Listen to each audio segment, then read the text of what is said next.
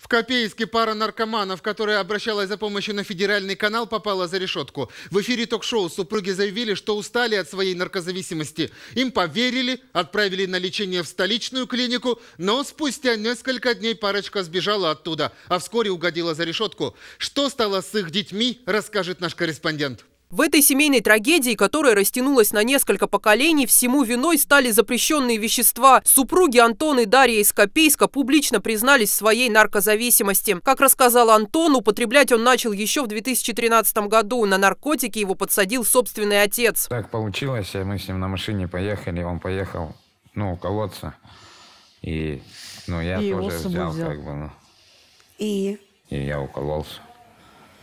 И папа нормально на это отреагировал. Подождите, Ну, я... да. Остановиться Антон уже не смог. Пристрастие к запрещенным веществам развалило его первый брак, а потом он встретил Дарью. Перед тем, как меня не посадили, мы не употребляли. А потом, получается, меня Посадили-то посадили за- у нее Посадили отец за что, за кражу?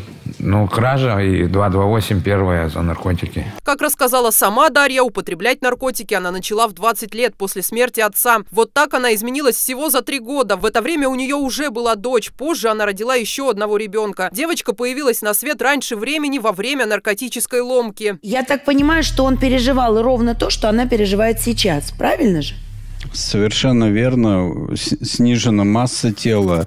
По умственным способностям еще будем смотреть, как он будет развиваться. Но там ребенок не спит. Но перед тем- Орет. Он также требует дозу. Он то ест, то не ест. Пищеварение нарушено. Это очень большая проблема для неонатологов выходить такого ребенка. А вот этот пост Дарья написала спустя несколько дней. Женщина попросила помощи у земляков. Девчата, спасайте. Не планировала я так рановато и не спланировано рожать. В общем, у меня к вам большая просьба. Если у кого вещи на новорожденного в хорошем состоянии хотелось бы, спасайте, мои хорошие. Этот пост привлек внимание неравнодушных местных жителей. Кто-то согласился помочь малышке вещами, а некоторые пошли дальше и отвезли наркозависимых супругов на телевидение. Мы готовы и хотим выкарабкаться, и чтобы ребятежки были с нами, добиться этого всего, отказаться от всего этого в нарко- на этой наркотической грязной пьяной жизни, и чтобы все у нас было хорошо. После съемки программы Дарье и Антону дали такой шанс и бесплатно приняли их в столичную клинику. А эти кадры были сняты спустя два месяца после съемки в программе. Бабушка Антона позвонила правозащитнице Людмиле Ревиной и попросила срочно приехать. Правда, когда Людмила вызвала полицию и направилась в тот самый дом, ей там оказались не очень-то и рады. В Москву притащила. Вы Вы обои, что ли? Вы кто? Вы чё?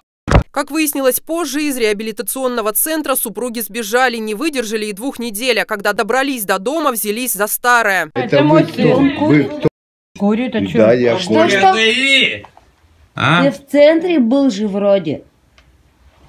Что, В нормально? каком-то цели. Так а ты детей-то будешь забирать, дружочек? Ты-то будешь, я тебе.